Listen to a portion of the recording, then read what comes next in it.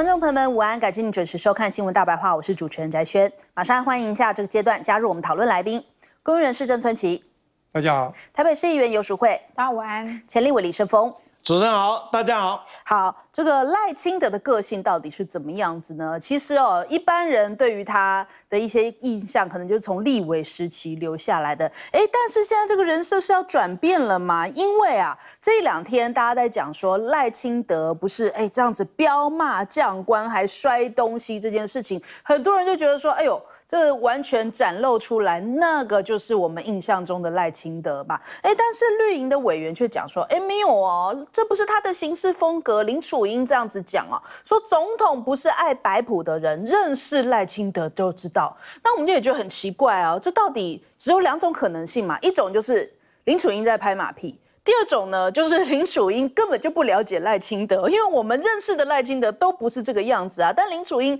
是不是要擦脂抹粉呢？就说啊，他不是激情演出的演员，他是性格沉稳的政治人物，从从政多年来鲜少出现暴走行径啊。这个鲜少，为什么我们常常看到呢？我们来看一看。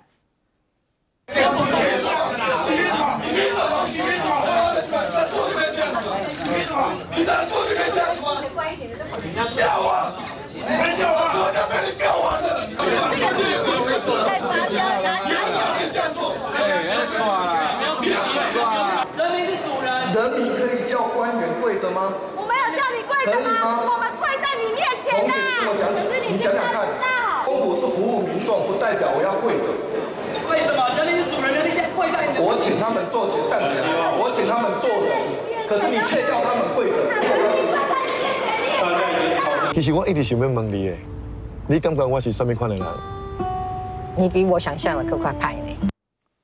对，这个蔡英文的神助解啊，比想象中高卡派啊，这才是真正的赖清德。不论是面对到这一个哎国民党，就是不同政党的人啊，这样子爆粗口他插的，或者是遇到了这学生啊，人民跪在他面前，就说哎，为什么我们官员要跪在你面前呢？呃，为什么我们要跪你人民呢？那其实这个赖清德恐怕这才是他真正的面貌。林楚英要试着多了解啊，那是不是也反映出来赖清德上任四个月就显得很骄？焦躁，这邱太元也爆出，哎，赖清德骂环境部长呢，然后结果彭启明还证实说，哎，总统有关心了，就好像把苦往肚子里吞下去了，怎么这样子，好像处处都这样呈现出来？赖清德这上任四个月。还不到一年呢，已经这样子处处会这个脾气压不住，处处要暴走了嘛？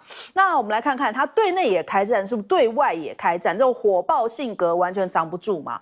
对内开战是怎么讲？现在大法官难产哦，他说啊，潘孟安现在嫌命哦，就是赖清德叫他去找这个。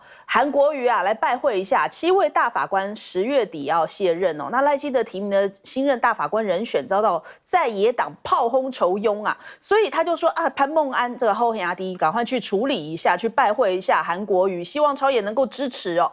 可是很奇怪，这个之前韩国瑜要的人事你们卡了半天，遇到韩国瑜就卡，然后你的人事案别人都得要同意哦。那软土生绝嘛，人家的感受就是这样子，人事案执行长已经这从卢。业中现在已经让步了，也展现了诚意。你现在还变成你的人选，别人通通都得要同意。再来，这个院际之间的协调，为什么是需要韩院长呢？行政院跟这个立法院之间如果有矛盾的话，哎，出来协调的应该是你赖总统要展现高度啊。宪法也赋予总统有这样院际协调纷争的这种。职权嘛，那现在赖主席或是赖总统该怎么称呼你都行，那你应该要发挥这样协调或是这个督促的功能哦。那怎么反倒是说，哎，让这个行政院跟这个立法院之间这样去协调一下？感觉你是这个越黑韩越凸显这个赖清德火爆，为什么呢？是不是骨子里面一看不起韩国瑜，觉得你的身份比韩国瑜高？那你既然认为你这韩国瑜身份不如你，你才有这样的一个尊贵的高度，那是不是更应该由你来做这个院际之间的协调呢？所以我们看到林传媒今天下了一个注解啊，就是这赖清德的战斗路线就确立了。嗯，从现在目前看起来啊，这个民进党倾向不视线、不重编预算，而是采取核战两手的策略，是没有妥协空间的。一方面府院持续。哎，这个表面上面要讲假装一下嘛，理性沟通；另外一方面呢，由党发起这种加强论述、诉诸民意哦，就是啊蓝白呀，这跟人民为敌呀，这样的声音不断在释放哦。所以党内人士就讲说，目前在野党地方跟中央不同调，因此未来呢会加强论述，透过。地方包围中央的策略哦，来逐步化解在野党的攻势，以其能够在这个总预算早日进入实质审查。所以这个战斗路线呢，就是其实反映出来赖清德对内就是这样子，我跟你战到底，我不会跟你妥协，因为像蔡英文讲的，他比想象中更凶哦。那对外同样也是啊，对外是怎么样的一个战法呢？当然也是从里面。国内呃，就是来找战犯哦，比方说什么呢？哎，反正我给你贴个标签，这个八方云集是亲中卖国的企业哦，那呼吁爱台湾的人都要抵制八方云集，就开始有这个绿营在疯传呐。就说啊，八方云集哦是支持两岸一家亲啊，还有这个丹提呀、梁梁社汉排骨都是旗下的，以后会拒绝消费。就后来才发现到说，哦哦，拍谁哦？这个我没有查到确实讯息，对八方云集造成困扰。但是问题是，这样的讯息已经传出去了，那绿营现在就是在内部找敌人嘛。还有呢，这个驻外外馆呢也出现战狼小编哦。那你看哦，他就是。不断的出现这个我们驻加拿大的办事处脸书啊，好像变成了反中大本营，天天出现这个反中的言论，说中国是加拿大最大威胁啊，还有呢什么中国展开集体威慑行动啊，处处要保持警惕啊，这样的一个外交是一个合乎外交的思维吗？那你看这个林佳龙身为外交部长。哎，跟这个十国的外媒见面的时候讲说，中俄是邪恶轴心啊，这样的一番话登上了以色列媒体的头版。那结果呢？我们对于邪恶轴心，你的做法是什么呢？哎。这个大陆取消了三十四项台湾农产品免税，然后结果我们自己喊说，呃，不会放弃中国大陆的市场。你不是叫人家邪恶轴心吗？那俄罗斯的天然气你也继续在买哦，还会持续购入这个化石燃料。人家就讲说，你根本就是说一套做一套。哎，邪恶轴心，哎，你们骂成什么样子？然后结果嘞，我们就跟邪恶轴心继续做生意吗？你不是好笑吗？民进党真的脑子清楚一点。我们来问一下郑老师。赖清德在总统府面对军方这个进阶的时候，到底有没有这个事情？其实新闻传出来的时候，这两天你来自于国防部啊什么之类的，都是轻描淡写，没有很强而有力的否定，说绝对没有这回事情。你想想看，如果真没这件事情被讲成那样，他们的态度会这么软吗？但又不能够完全否认，但又不能够承认，所以你光看他出来那个辩解，就是很无力、很苍白。那怎么还会跳出一个林楚英？那林楚英，我看他讲话这三个重点，第一个就是说没有这回事情啊，这不可能的。而且这个时候说消息来源里面有个女性，女性就那个司仪，那不是害死这个人吗？他用这个东西来否认，我说真的也很无力。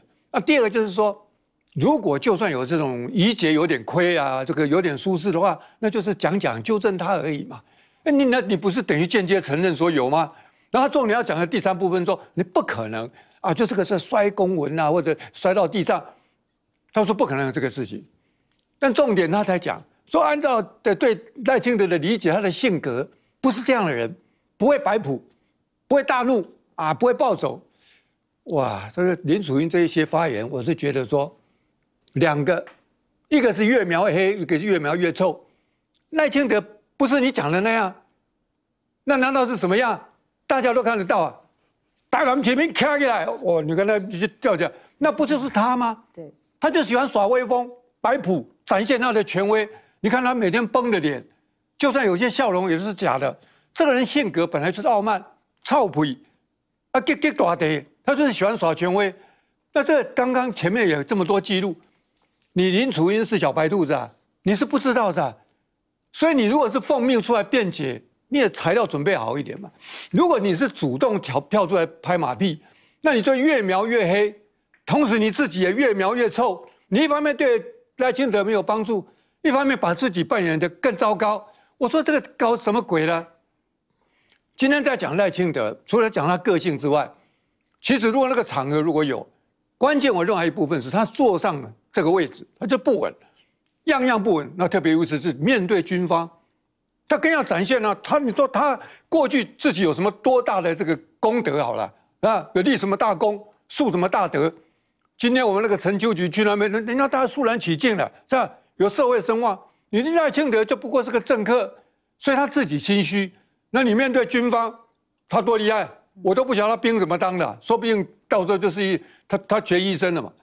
他自己心虚，那面对军方，他越要展现那强而有力，可以镇住他们，那故意叭借机就下马威，小事故意把它弄大。嗯，让你们看看我是谁，这我认为是可能性是非常大的。所以我再讲一遍，你这个否认就本身很乏力嘛。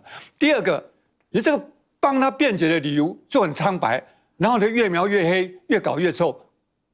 林楚英这样的一个角色，经常是啊跳出来扮演，用他女性的部分，然后掩护，然后好像呃帮忙在这种没有人要干的角色。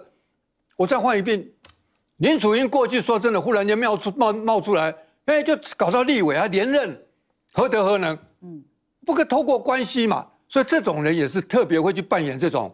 擦脂抹粉啦，擦屁股啦，掩护啦，拍马啦，这种肮脏角色，哇，他就乐于承担。所以我刚刚讲，赖清德被他越描就越黑，此地无银三百两，让他自己的扮演这个角色越搞越臭。为什么要浪费我们的时间在这上面？今天国家大政有多少事情要弄？你赖清德，你今天如果真有本事，想出一些有创意的点子。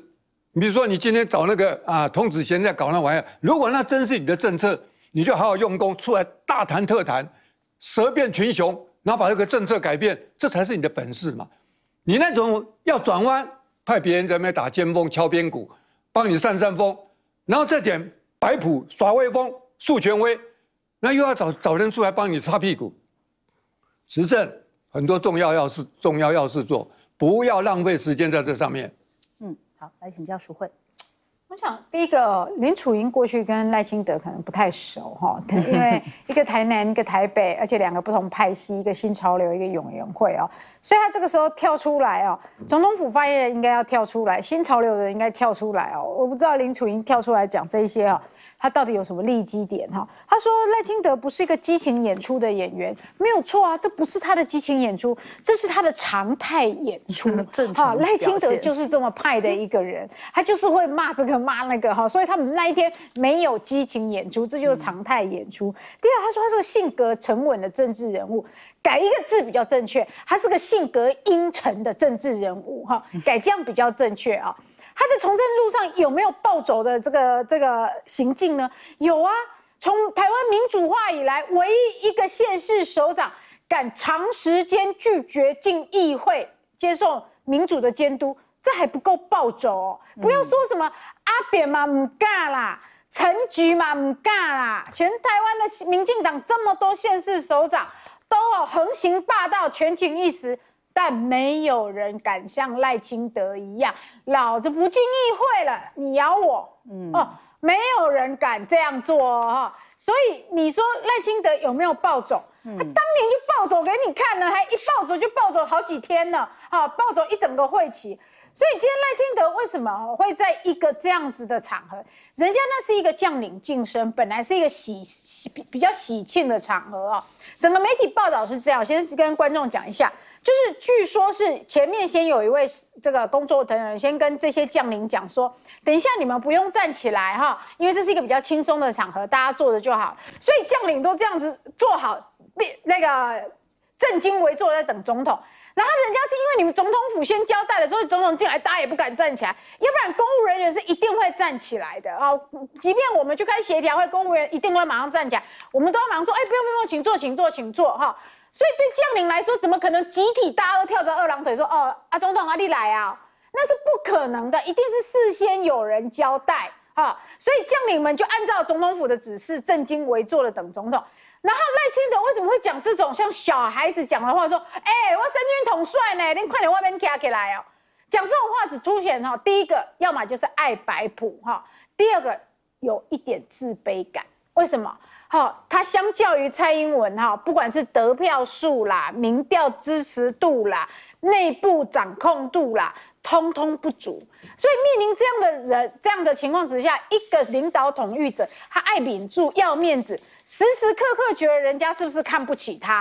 哦，一看到说你们这些将领，我是三军统帅，看到我居然不站起来啊！过去一些潜藏在心里面的自卑感就冒出来了，所以就开始飙骂哦。所以我不知道他是爱白补还是有一点自卑感。可是不管怎么样，讲出这种话哈，都是很没有格局的一个总统。嗯，他到底暴不暴走？其实蔡英文感受最深啊，当初就是暴走，所以才来出来挑战蔡英文哦。那我们来问一下顺峰哥，是啊，这个心理学上讲得很清楚，自卑跟自大是一体两面，常常会展现自大的人就是内心有极大的自卑。嗯，其实其实像昨天面对这这些将官的场面。真的稍微有点能力的人，一下子就可以摆平了，知道吧？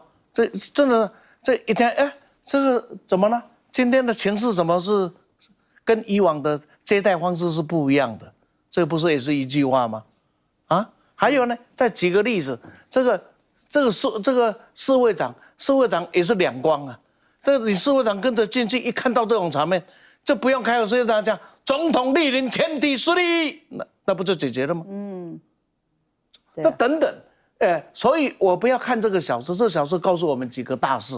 第一个就是从九六年我们开始总统明显以来到现在为止，气势最差的就是他，比陈水扁两颗子弹上去的时候的气势啊还来得差。那个差到什么程度？我今天就用各位来讲到，一个政治里面的执政府的执政团队，现在执政团队出现什么情况？就是政务声望不足。执政能力不行，什么叫政治声望不足？这刚刚我们上节目前，我还稍微的跟朋友们大家挑战了一下，说：“哎，我们的财政部长叫什么名字？”我不好意思啊，挑战大家可能量不出来啊。哦，我们重要的几个部会的首长，你是到路边去问问看一下，大家真的觉得你们这些名字是路人甲、路人乙的？那是告诉我们什么事情？决定我们命运的整个执政团队。跟整个的社会是脱节的，是我们是没有感觉的。那你想想看，人民跟你之间怎么会有连接呢？再过来看看行政能力，那是一塌糊涂。举个例子，大法官的任命有问题，是找行政找立法院长吗？是找党团？立法院长有票吗？是在党团的沟通？立法院长找立法院长，这个就是一个错误的观念。找立法院长说，是不是您来请三个党团安排一下，我们来访问，那也是通嘛。嗯，怎么去找行政找找立法院长呢？这一塌糊涂，政治声望不足，施政能力不够，最后只能靠摆谱来过日子。所以，包括我们的海外也是摆谱嘛。台湾去收人家中国大陆跟俄罗斯是是。怎么邪恶仇心？讲给谁听啊？这是大内奸而已。全世界谁鸟你啊？只是自己真的自卑跟自大是同样的孪生兄弟。嗯，好，我们先休息一下，广州忙回来。